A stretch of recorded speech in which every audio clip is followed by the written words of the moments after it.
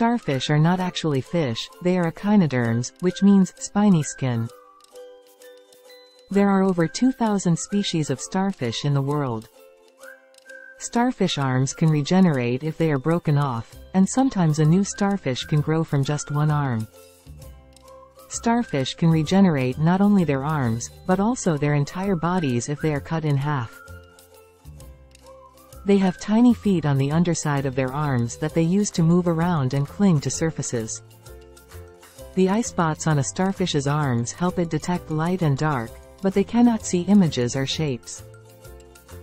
Starfish can also use their arms to push themselves along or to pry open shells. Some species of starfish have tiny pincers on the tips of their arms that they use to catch small prey.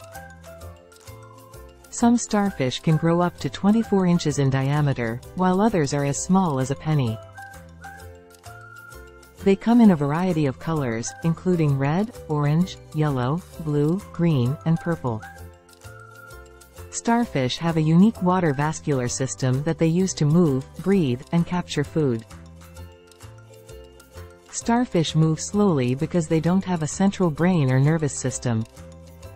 Instead, they rely on a decentralized network of nerves to coordinate their movements, which can take longer than in animals with centralized nervous systems.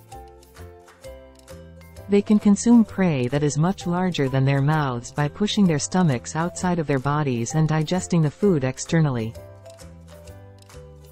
Starfish can also filter feed by using their tube feet to capture plankton in the water. They are found in all of the world's oceans, from the shallowest tidal pools to the deepest parts of the ocean floor. Starfish are important members of the ocean ecosystem, as they help regulate populations of other organisms. Some species of starfish are considered pests because they can damage coral reefs and other ecosystems. They have few natural predators, but some animals, such as crabs and sea otters, will eat them.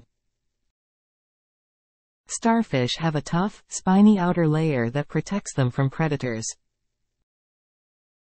The blue sea star is the most common species of starfish found on the west coast of North America. They are commonly used in traditional medicine in some cultures to treat a variety of ailments.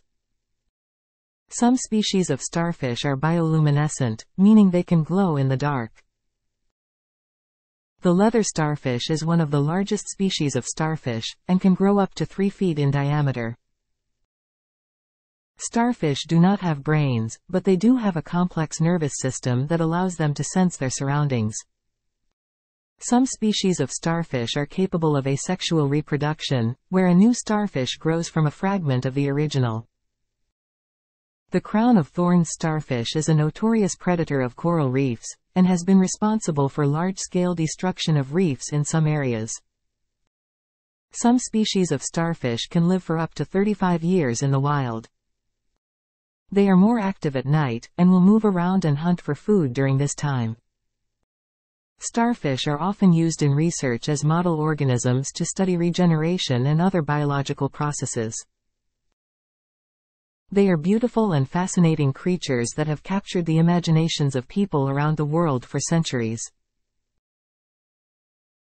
Check out these cool videos for more amazing facts.